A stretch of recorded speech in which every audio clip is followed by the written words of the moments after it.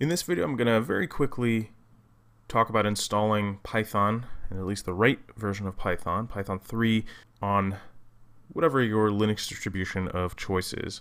For this channel I generally recommend Ubuntu, that's what I show everything on. You can check which Python version you have installed by typing Python and then a space and then dash dash version and that'll show you when you type in Python, this is the version of Python that you have installed. So if I go and change that to Python 3 dash dash version, you can see here I've got a slightly old but still fine version of Python 3 installed. If you don't have Python 3 installed, what you're going to want to do, I mean, and the package could be named something else, so if you just type in Python and then hit tab a few times, you'll probably see a few names. Not all of those are their own binaries. They're all just like symlinks, links to one or two binaries, probably a Python 2 version and a Python 3 version.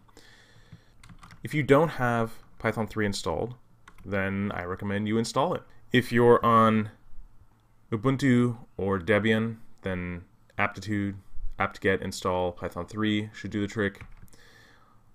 If you're on FreeBSD, package install Python 3. Pacman if you're on Arch, Yum if you're on Red Hat or CentOS, on and on and on. Obviously, I'm not going to cover all the distros here. The point I want to make is that in production, if you want to install Python in a repeatable, sort of professional way, you're going to be using something called Python Virtual Env. I have a separate video dealing with setting up sort of a pro dev uh, environment for Python, but I'm going to leave it out of this basics course because I just don't think that complexity is necessary. So if you're curious, you can go check out that other video on setting up a basic Python development environment. But the idea behind that is you basically install a directory that has all of your Python dependencies in it. So you're not dependent on your host operating system for giving you a Python version that you expect using a virtual environment basically packages up everything you need, Python itself and all of the Python libraries and uh, modules you need in a directory that is repeatable.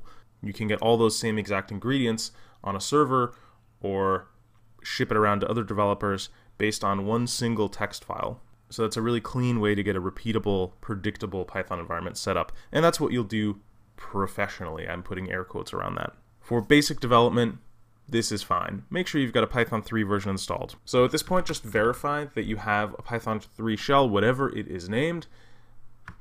For me, it's Python 3, and that gets me this Python 352 shell. And that's where we're going to start the course. So I'll see you in the next video.